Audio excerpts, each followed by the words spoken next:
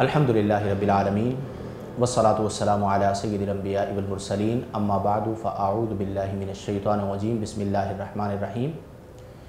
نبی کریم رؤوف الرحیم علیہ افضل الصلاۃ والتسلیم ارشاد فرماتے ہیں کہ صدقہ بلاؤں کو دفع کرتا ہے یعنی دور کرتا ہے۔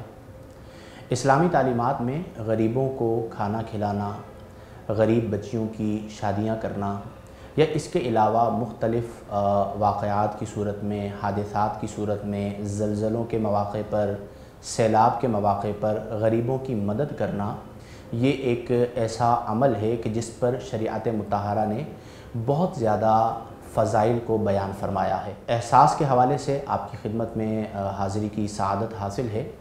اور آپ یہ جانتے ہیں کہ پاکستان میں اسپیشلی کئی ایسی فیملیز ہیں اور لاکھوں کی تعداد میں بلکہ ایسے افراد ہیں جو ہماری مدد کے مستحق بھی ہیں اور ہماری مدد کے منتظر بھی ہیں۔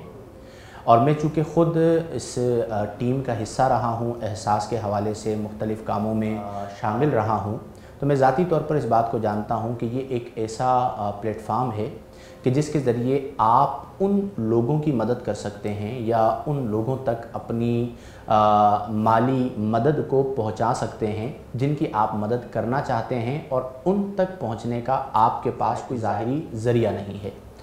قرآن کریم فرقان حمید کی تعلیمات پر اگر ہم غور کریں تو جہاں پر قرآن نے زکوٰۃ کے مصارف کو بیان فرمایا۔ تو اس میں پہلا مصرف یعنی جنہیں زکوٰۃ دی جا سکتی ہے، وہ کون کون لوگ ہیں؟ پہلے نمبر پہ فرمایا ان نمس صدقات للفقرائی، صدقات فقراء کے لیے ہیں۔ یعنی پہلا جو مصرف ذکر کیا گیا کہ آپ اپنے صدقات فقراء کو دیجیے۔ نبی کریم علیہ افضل الصلاۃ و تسلیم فرماتے ہیں کہ جب کوئی شخص صدقہ دیتا ہے کوئی اچھا کام کرتا ہے، کسی کو کھانا کھلا دیتا ہے، کسی کو پانی پلا دیتا ہے، کوئی بھی اچھا کام کرتا ہے، جب وہ صدقہ دیتا ہے، تو جو چیز وہ صدقہ دیتا ہے، وہ صدقہ زبان حال سے یہ کہتا ہے کہ میں چھوٹا تھا، تو نے مجھے بڑا کر دیا۔ وہ صدقہ یہ کہتا ہے کہ میں کم تھا، تو نے مجھے زیادہ کر دیا۔ وہ صدقہ یہ کہتا ہے کہ کن حارسی تو میرا محافظ تھا۔ یعنی عمومی طور پر ہم مال کی حفاظت کرتے ہیں۔ لیکن وہ صدقہ یہ کہتا ہے کہ فل آن سر تو حارسک، اب میں تیرا محافظ ہو گیا ہوں۔ یعنی گویا کہ جب آپ صدقہ دیتے ہیں تو گویا کہ وہ صدقہ آپ کی حفاظت کرتا ہے، آپ کی فیملی کی حفاظت کرتا ہے۔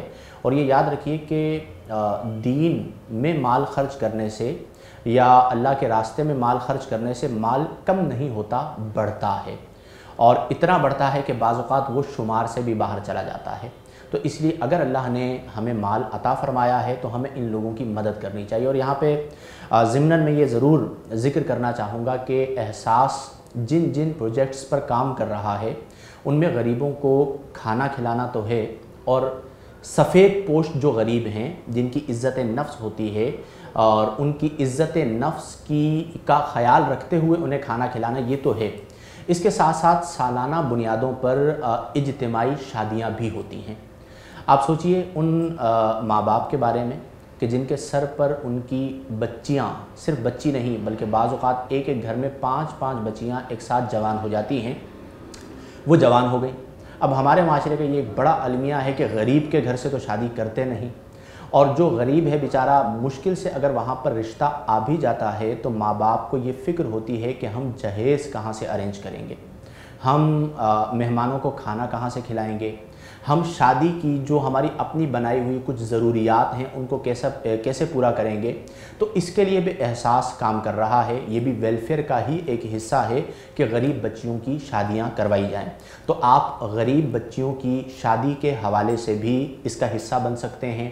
اس یوں کہہ لیجیے کہ اس ویلفیئر کے عظیم کام کا آپ حصہ بن کر دنیا اور آخرت میں ثواب حاصل کر سکتے ہیں۔ اس کے ساتھ ساتھ ایک اور بہت بڑا پروجیکٹ ہے جس پر الحمدللہ رب العالمین بہت ہی اچھے طریقے سے کام ہو رہا ہے کہ مختلف مقامات پر ہینڈ پمپ لگوانا۔ اور اس کے ذریعے جہاں جہاں پر پانی نہیں ہے، آپ جو باہر، پاکستان سے باہر بالخصوص یورپین ممالک میں رہنے والے لوگ ہیں، یو کے میں، کینیڈا میں، امریکہ میں، ہالینڈ میں آسٹریلیا میں اور دیگر ممالک میں، انہیں اندازہ نہیں ہے کہ پاکستان میں تھر کے علاقوں میں ایسے گوٹ بھی ہیں کہ جہاں پر ہماری بہنیں کئی کئی میل سفر کر کے پانی بھر کے اپنے سروں پر اٹھا کر لاتی ہیں۔ اور وہ بھی بس اتنا ہوتا ہے کہ جس سے روز مرہ کی ضروریات بڑی مشکل سے پوری ہوں۔ اور اس میں بھی صاف پانی نہیں مل پاتا۔ تو وہاں پر بڑا اہتمام خواجہ غریب نواز ویلفیئر ٹرسٹ اور احساس کے تحت کیا گیا ہے کہ باقاعدہ مختلف مقامات پر ہینڈ پمپس لگوائے جا رہے ہیں۔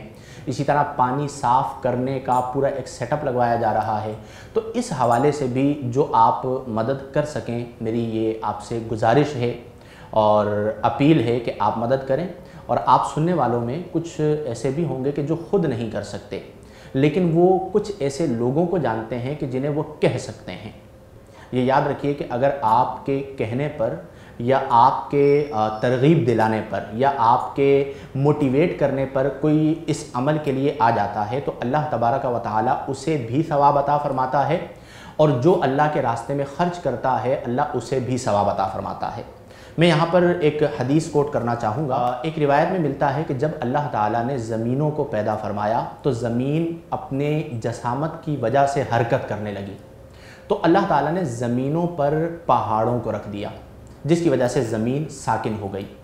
فرشتوں نے اللہ کی بارگاہ میں عرض کی مولا حل من خلقی کا شیئن اشد من الجبال۔ یارب کیا تیری مخلوق میں پہاڑ سے زیادہ بھی طاقتور کوئی چیز ہے جس نے زمین کی حرکت کو روک دیا؟ تو اللہ تبارک و تعالیٰ فرماتا ہے، نعم. جی ہاں الحدید. میری میری میری مخلوق میں جو چیز پہاڑ سے زیادہ طاقتور ہے، وہ لوہا ہے۔ فرشتوں نے عرض کی حل من خلقی کا شیئن اشد من الحدید؟ کیا تیری مخلوق میں لوہے سے زیادہ بھی کوئی طاقتور چیز ہے؟ فرمایا، نعم، النار. میری مخلوق میں اس سے زیادہ طاقتور جو چیز ہے، وہ آگ ہے۔ فرشتوں نے عرض کی حل من خلقی کا شیئن اشد من النار؟ کیا تیری مخلوق میں آگ سے زیادہ بھی طاقتور کوئی چیز ہے؟ فرمایا، نعم، الماء. آگ سے زیادہ طاقتور چیز پانی ہے۔ فرمایا حل من خلقی کا شیئن اشد من الماء؟ کیا تیری مخلوق میں پانی سے زیادہ بھی شدید کوئی چیز ہے؟ فرمایا، نعم. ابن آدم یتصدق بیمینی ویخفیہا عن شمالی فہو اشد فرمایا کہ ہاں ابن آدم اپنے سیدھے ہاتھ سے صدقہ دیتا ہے اور اس کے الٹے ہاتھ کو بھی پتہ نہیں چلتا، چھپا کر صدقہ دیتا ہے اخلاص کے ساتھ، تو اس صدقے کی طاقت ان تمام چیزوں سے زیادہ ہے۔ تو جو آپ صدقات دے رہے ہوتے ہیں، بعض اوقات ان صدقات کی وجہ سے آپ کے مسائل حل ہو رہے ہوتے ہیں، آپ کی پریشانیاں حل ہو رہی ہوتی ہیں، آنے والی مصیبتیں اور بلائیں ٹل رہی ہوتی ہیں۔ بنی اسرائیل میں ایک عورت تھی قحط آیا اس کے پاس صرف ایک لقمہ تھا۔ وہ لقمہ اپنے منہ میں رکھنے لگی تو کسی فقیر نے صدا لگائی تو اس نے وہ لقمہ اس فقیر کو دے دیا۔ پھر وہ اپنے چھوٹے بچے کو لے کر جنگل میں لکڑیاں چننے کے لیے گئی اور لکڑیاں چن رہی تھی۔ اسی اسنا میں ایک بھیڑیے نے اس کے بچے پر حملہ کر دیا اور اسے دبوچ لیا۔ اس نے جب اس طرف وہ متوجہ ہوئی تو اللہ تبارک و تعالی نے حکم دیا تو اس بھیڑیے نے اس بچے کو چھوڑ دیا۔ اور غیب سے آواز آئی کہ تم نے اللہ کے لیے اپنا لقمہ صدقہ کیا تھا۔ اس کی وجہ سے اللہ نے تمہارے بیٹے کو بھیڑیے کا لقمہ بننے سے محفوظ فرما دیا۔ تو یہ ہمارے لیے ایک ترغیب کی بات ہے کہ جب ہم صدقہ دے رہے ہوتے تو ہم کسی پر احسان نہیں کر رہے ہوتے۔ در حقیقت ہم اپنے آپ پر احسان کر رہے ہوتے ہیں کہ اللہ نے ہمارے مال کو اپنے راستے میں، اپنی راہ میں قبول فرما لیا۔ لہذا میں اختتاماً پھر یہ کہنا چاہوں گا کہ غریب بچیوں کی شادی کے حوالے سے ہینڈ پمپ کے حوالے سے ماہانہ بنیادوں پر غربا کو کھانا کھلانے کے حوالے سے، اور اس کے علاوہ بہت سارے ایسے پروجیکٹس ہیں جس جن پر وقتاً فوقتاً عمل ہوتا رہتا ہے۔ آپ احساس کے ساتھ تعاون کیجیے، اور لوگوں کا بلکہ احساس کیجیے۔ اللہ تبارک و تعالی دنیا اور آخرت میں آپ کو اس کا بہترین بدل عطا فرمائے گا۔ کیونکہ جو آپ خرچ کر رہے ہیں وہ ختم نہیں ہو رہا، وہ باقی رہ رہا ہے۔ اور بارک و تعالی اس کی برکت سے آپ کے دیگر اموال میں بہت زیادہ برکتیں عطا فرمائے گا۔ میں دعا کرتا ہوں کہ اللہ تعالی ہم تمام کو قرآن و سنت، شریعت و سنت اور احکام شرعیہ کے مطابق زندگیاں گزارنے کی توفیق عطا فرمائے اور لوگوں کا احساس اپنے دلوں میں بیدار کرنے کی توفیق عطا فرمائے۔ آمین۔ بجاہ النبی الامین۔ و آخر دعوانا ان الحمد للہ رب العالمین۔